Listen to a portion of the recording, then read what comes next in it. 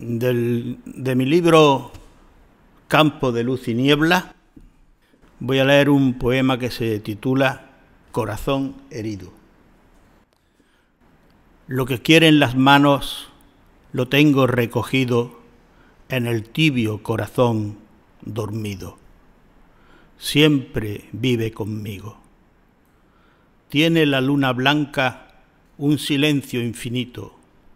En la negra maleza húmeda hace la bicha el nido.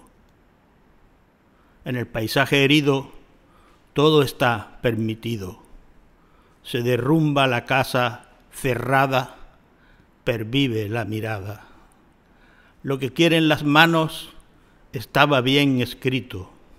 Besos desean los labios, cantada tarde, soñada y clara.